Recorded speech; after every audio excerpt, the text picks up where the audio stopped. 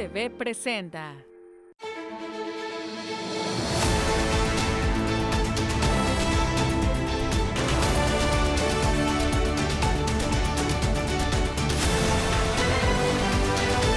Emisión sabatina. Hola, ¿qué tal? Sean bienvenidas y bienvenidos a la emisión sabatina de Corte de Noticias de este 14 de octubre del 2023. Agradezco a las personas que ya nos sintonizan a través de su televisor en frecuencias radiofónicas y redes sociales. Mi nombre es Nadia Zanavia y de esta manera comenzamos con las noticias. Fue inaugurada la 43 edición de la Feria Internacional del Libro de Oaxaca. Después de casi tres décadas, un eclipse solar se hizo visible en gran parte del territorio nacional. Este sábado inició la decimoséptima edición del Festival del Mole de Caderas. Académicos apuestan por la competitividad profesional ante los requerimientos laborales del corredor interoceánico del Istmo de Tehuantepec. Teniendo como sede el Centro Cultural y de Convenciones, esta mañana se inauguró la 43 edición de la Feria Internacional del Libro Oaxaca 2023. En el Centro Cultural y de Convenciones de Oaxaca, el gobernador Salomón Jara Cruz inauguró la 43 edición de la Feria Internacional del Libro de Oaxaca. El mandatario estatal Salomón Jara Cruz destacó que la FILO permite un diálogo intercultural que fomenta la lectura entre creadores, editoriales y la comunidad, que se ha posicionado como una de las más importantes de Latinoamérica. Quiero expresar que nuestro gobierno está comprometido con la lectura para la promoción, el fomento. Desde el primer acto de nuestro gobierno y el primer acto fue la lectura. Y todos los secretarios, directores de este gobierno están comprometidos a la lectura una vez por mes, los días primeros de cada mes, en todo el Estado y en todas las instituciones con niños y niñas. En su intervención, Vania Reséndiz Cerna, directora general de la FILO, compartió que entre las actividades se contemplan una biblioteca, conciertos, talleres, agenda de maternidades y de la comunidad LGBT, y un domo especial, así como diversas actividades para todas las edades encaminadas a la promoción lectora. Salgamos de nuestras casas y hagamos de esta fila un hogar donde podamos saltar de emoción en los conciertos, en las charlas, en las firmas, en el encuentro o reencuentro con quienes hacen posible que los libros lleguen a nuestras manos. Leer, lecturas, libros.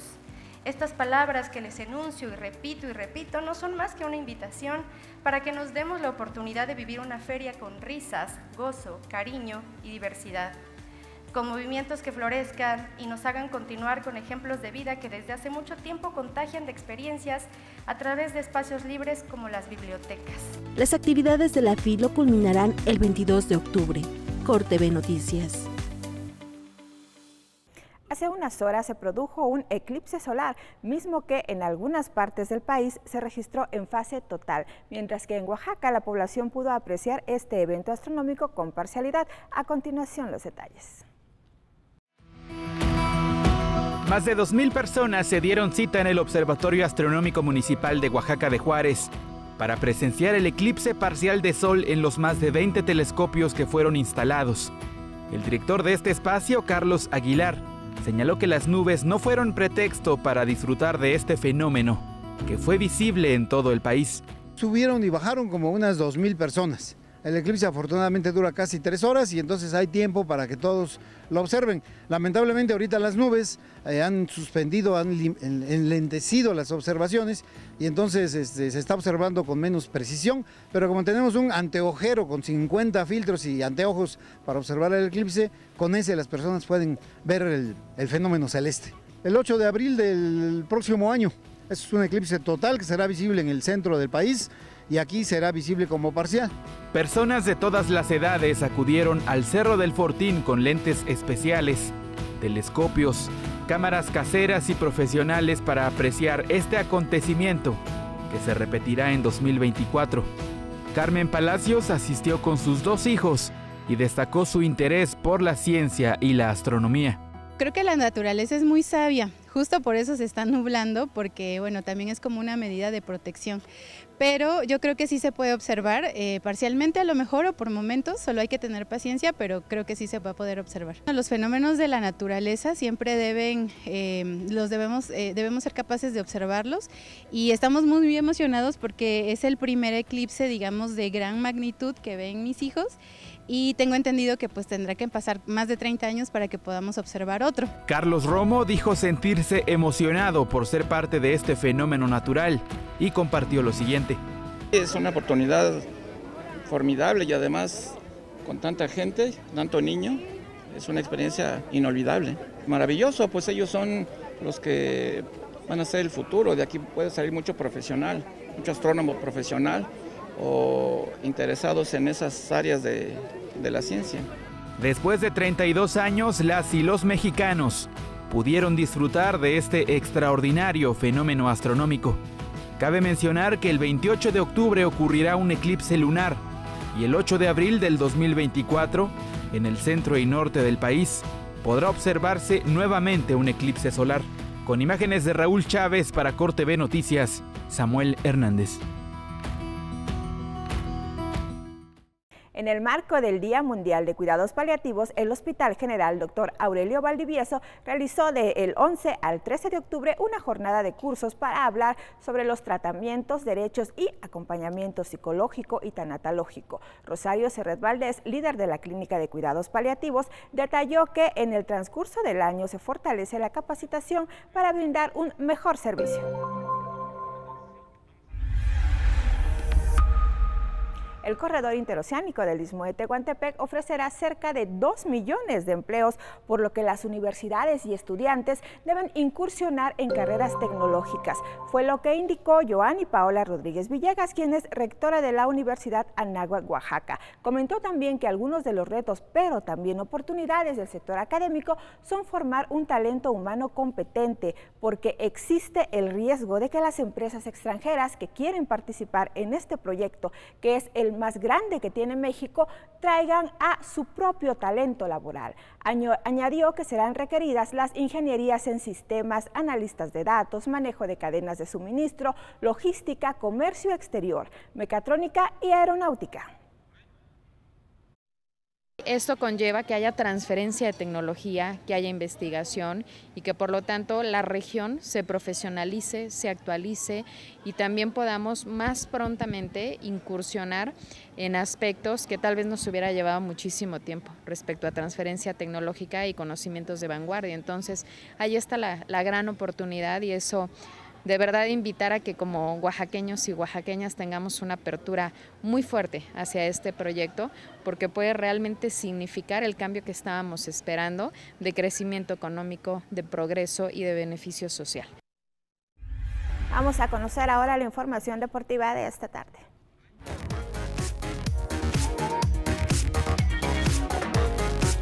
Deportes. Toda la experiencia de 35 años en el baile fitness del instructor Gerardo López Vázquez se disfrutó en el espacio activo del Paseo Juárez El Llano, quien reconoció que han surgido muy buenos instructores jóvenes en Oaxaca e invitó a todas las personas a hacer ejercicio. Pues eh, actualmente hay muchos instructores muy buenos y que esto es muy, muy sano para todas las personas. Esta es una buena opción para venir al parque activo del Llano todos los domingos con diferentes instructores que son muy buenos todos los compañeros, así que vengan de 9 a 11 de la mañana.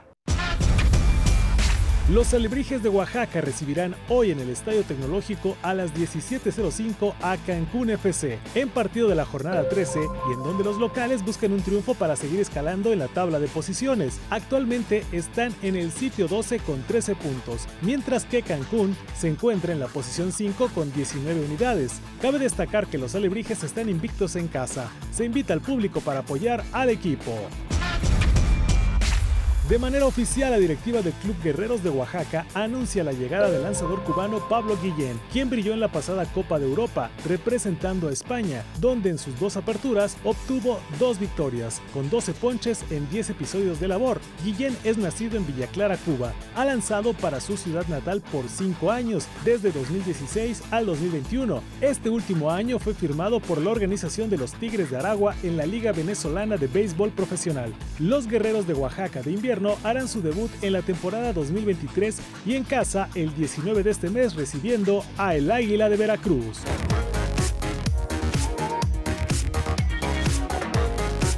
Deportes.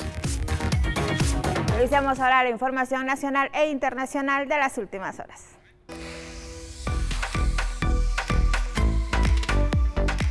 Nacionales e internacionales. La empresa Samsung se unió a otros fabricantes en México en anunciar que los teléfonos celulares que no fueron comprados en sus canales oficiales serán inhabilitados para poder funcionar en territorio nacional, argumentando motivos de calidad y seguridad.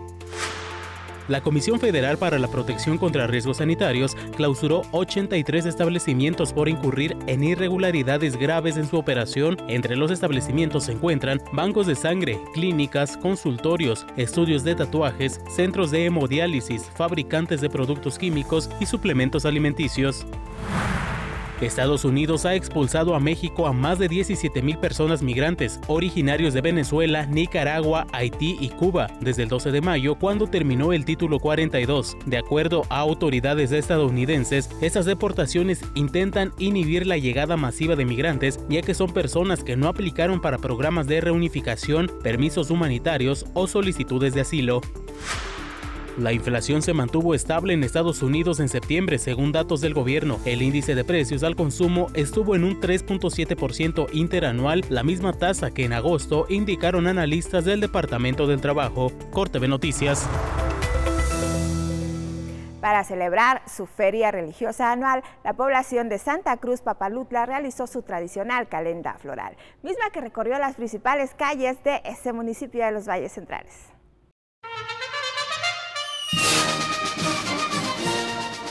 Con una tradicional calenda que partió de la casa de los mayordomos, la familia Sánchez Ávila inició la fiesta en honor al Señor de la Santa Cruz en el municipio de Santa Cruz Papalutla. En este sentido, Félix Aldair Sánchez Ávila nos compartió lo que para él representa ser mayordomo de esta fiesta. En esta ocasión yo creo que representa como la fe que le tengo al Señor de Santa Cruz. Eh, no sé, siento que rendirle estos, estos honores es eh, un orgullo para mí. Al ritmo de la chirimía y música de banda, toda la población se unió a esta calenda que recorrió las principales calles de Santa Cruz Papalutla. Asimismo, participaron las madrinas de canasta. Nelly Mara Sánchez Pérez, encabezada de Madrinas 2023, compartió la importancia de las madrinas en esta celebración. El papel de las, de las madrinas es muy fundamental en esta mayordomía, ya que con ellas eh, iniciamos la fiesta, lo que es la, alegría del pueblo, lo que, con la que anunciamos la alegría de, nuestro pueblo para iniciar la conmemoración del Señor de la, de la Santa Cruz. Y este, en este caso, ellas con su fe y su promesa también nos acompañan para que nuestro mayordomo vaya este, representando todo lo que es la fiesta del pueblo. En esta fiesta se involucran más personas, como es el caso del diputado mayor Aarón Cruz Ángeles, quien tiene un compromiso con el mayordomo que es servir al templo. Asimismo, los huehuetes del pueblo, que son personas mayores, como es el caso de Bernardino Valente Ángeles, se encargan de que los acuerdos que se tomaron para la fiesta se cumplan. Asimismo, involucran a las nuevas generaciones para que estas costumbres y tradiciones se preserven. Se está tratando de que se involucren este, gente joven, este, pero también que, este, que conozcan, que sean nativos de la comunidad, que conozcan realmente investigando las costumbres este, de lo que nos dejaron nuestros, abuelos y todos, que son, pues ahora sí que es una cultura, riqueza de la comunidad, en, hacer todas estas, estas festividades. Para nosotros pues es un orgullo seguir conservando estas tradiciones. Del 13 al 22 de octubre, Santa Cruz Papalutla los espera con los brazos abiertos para celebrar juntas y juntos con diversas actividades culturales, religiosas, artesanales, gastronómicas y más. Con imágenes de Oswaldo Mijangos e información de Erika Ortiz, Corte B Noticias.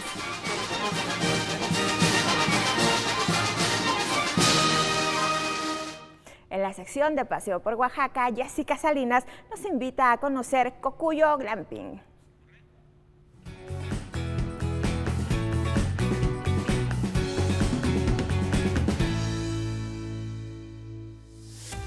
Hola, ¿qué tal? Mi nombre es Jessica Salinas y en nuestro paseo de hoy te llevaré a vivir una experiencia en la montaña muy cerca de la ciudad de Oaxaca. ¡Comenzamos! En San Agustín Etla visitamos Cocuyo, un proyecto de glamping. Esta palabra proviene de la unión de dos conceptos, glamour y camping, y surge como una alternativa para las personas viajeras que aman estar en contacto con la naturaleza, pero no quieren renunciar a las comodidades y servicios que tendrían en su casa o en un hotel. Cocuyo se fundó en el año 2021 y se centra en el turismo sustentable. Trata de mitigar los impactos negativos al medio ambiente, respetando el ecosistema, la cultura y trabajando con la comunidad. Aunque está a escasos minutos de la población, cuando vengas a acampar aquí, te podrás escapar de la rutina, ya que estarás rodeado de árboles, áreas verdes, una pequeña laguna, un estanque con peces, disfrutar del canto de las aves o la fauna de la zona y los sonidos de la naturaleza. Romeo Ruiz, quien es uno de los fundadores, nos comenta cuáles son las características que encontrarás en su emprendimiento. Si decides hospedarte con nosotros en Cocuyo Glamping, disfrutarás de una carpa totalmente de lujo con todas las comodidades, una cama totalmente confortable, contamos con baño, agua caliente y todo lo necesario, una mini cocina con todo lo que necesites para pasar tu experiencia o una experiencia inolvidable. Puedes cotizar costos y fechas de acuerdo a tus preferencias. Aquí te dejamos su información de contacto. En el espacio pueden acampar hasta un máximo de 15 personas. Además colaboran con proyectos de San Agustín Etla y comunidades vecinas. En tu visita podrás disfrutar de actividades como caminatas, observación de luciérnagas, juegos al aire libre, degustación de mezcal o productos artesanales, paseos en bici o también a caballo. Me encuentro con el señor Fernando, quien nos va a platicar parte de este proyecto. Sí, buenas tardes. Este, pues es un proyecto ¿no? de paseos a caballo. Con mi página es la de Casta Vaquera. Aquí colaboramos con este proyecto. Tenemos manejo de caballos, paseos que dilatan una hora, hora y media, dos horas según. Y también tenemos una promoción ahí para los jóvenes en adicciones, una terapia ocupacional y montada a caballo.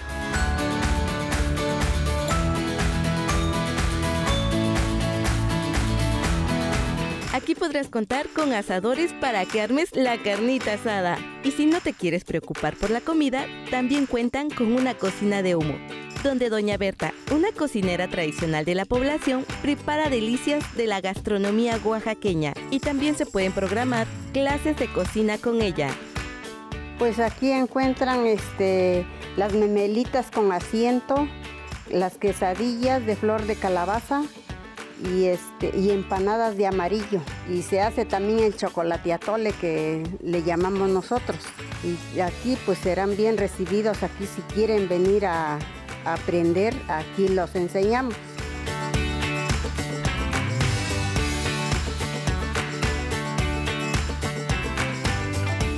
Cocuyo Glamping surgió por el deseo de dos hermanos, por compartir con los demás su gusto por la aventura y las actividades al aire libre. Para aquellas personas que son amantes de la naturaleza, eh, nosotros estamos ubicados en San Agustín Netla, a escasos 30 minutos de la ciudad. Y lo bonito del proyecto es que pueden eh, este, disfrutar de la naturaleza sin ir tan lejos. Y a pesar de que estamos dentro de la comunidad, es un espacio donde podrán disfrutar de varias actividades, pero sobre todo estar en contacto con la naturaleza. Lo interesante del proyecto es tratar de desconectarnos de la vida cotidiana para reconectarnos con la naturaleza.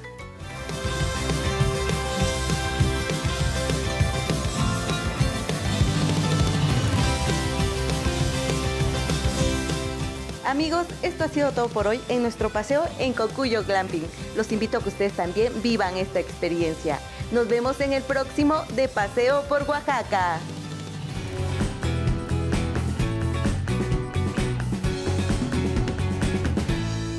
Inició oficialmente la temporada del Mole de Caderas 2023, un platillo icónico de la Mixteca oaxaqueña. En esta ocasión, Sanicté López nos presenta una opción de en dónde degustar esta riqueza culinaria.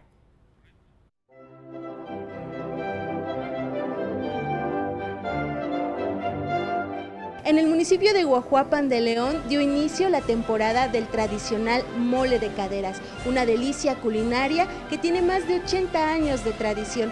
Por ello yo les invito a ver el siguiente material que hemos preparado para que conozcan más sobre este platillo. Desde hace más de ocho décadas la familia García Peral es custodia de un tradicional platillo. Se trata del mole de caderas, una joya culinaria que ha perdurado ya que la tradición y receta original se ha transmitido de generación en generación.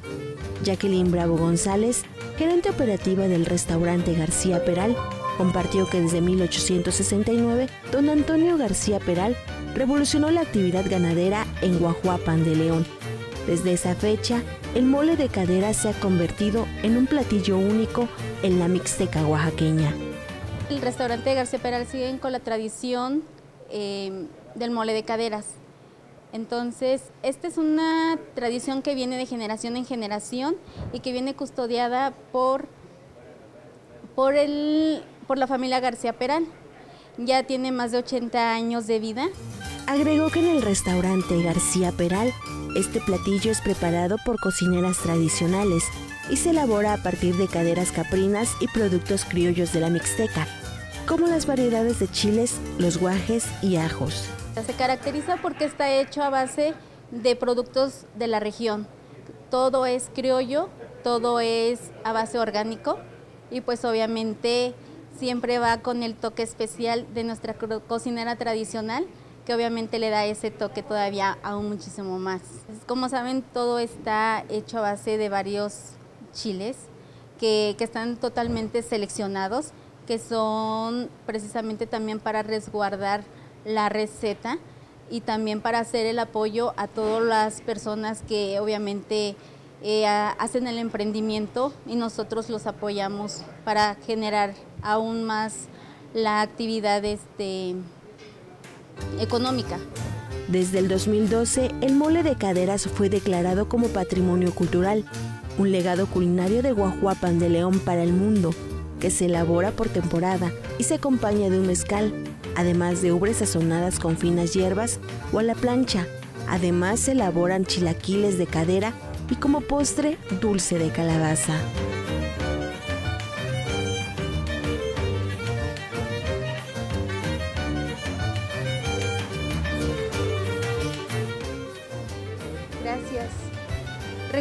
Este platillo estará disponible hasta el 26 de noviembre en el restaurante García Peral. Y bueno, ha llegado el momento más difícil. Vamos a degustarlo.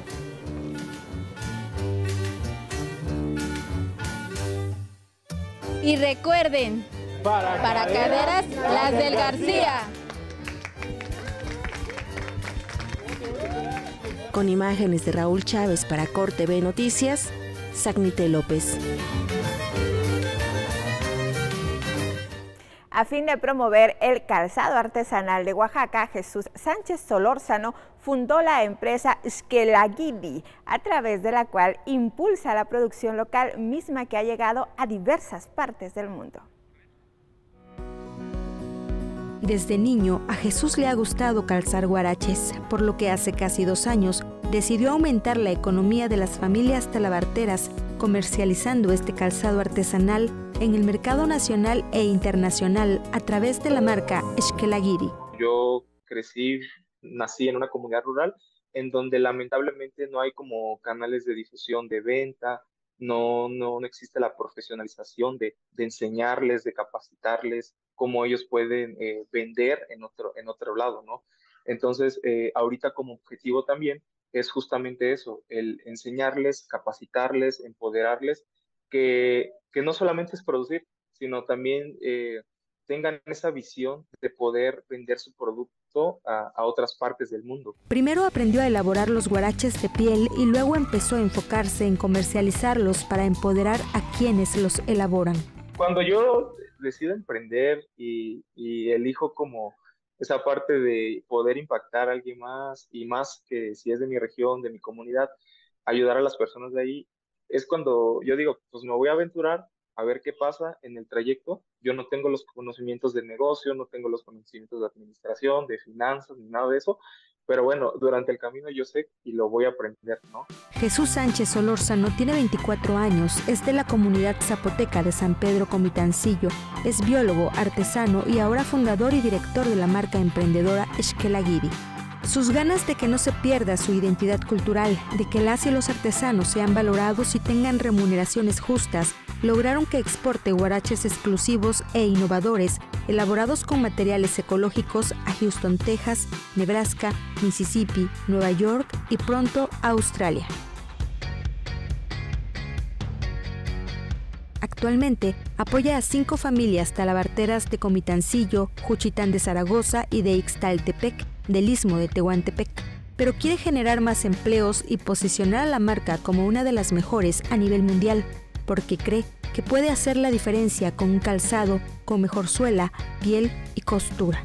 Pero su emprendimiento no ha sido fácil. La verdad que durante el trayecto, desde que yo empiezo a crear Esquelagidi, pues han sido tropiezos, han sido caídas, he llorado, he reído, o sea, ha sido un boom de emociones, la verdad, porque justamente también te topas eh, con personas que quizá no tienen ese hambre, esa visión de poder crecer, de, de llegar a impactar de manera positiva a alguien más.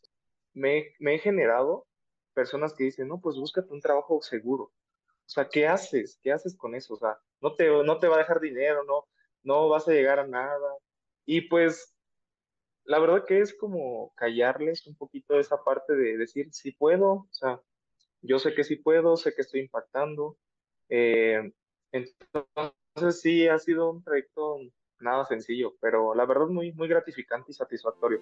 Sin embargo, Jesús va de la mano con las familias artesanas, detalle que éstas le agradecen. Que tengan esas ganas, esa hambre de, de crecer, de, de dejar un legado, ¿sabes? Un legado que te, que no nada más estás creando, eh, no sé, una actividad económica, sino que digan, este cuatito impactó de manera positiva en su comunidad. Se está generando empleos, se activa la economía, eh, el producto de nosotros eh, se está difundiendo en otras culturas, eh, a otras partes del mundo. Para Corte de Noticias, Liliana Velasco. Antes de concluir esta emisión de Corte de Noticias, le invitamos a que siga la transmisión del 9.1 de televisión, así como de las frecuencias radiofónicas de Corte de Radio, ya que le llevaremos la inauguración de la decimoséptima edición del Festival de Muele de Caderas en Guajuapan de León y posteriormente la transmisión de la Guelaguetza News Finalizamos así esta transmisión, este noticiario sabatino. Les invito para que se mantenga en la frecuencia de Corte B. Usted y yo tenemos una cita el próximo sábado, así que no se olvide. Nos vemos.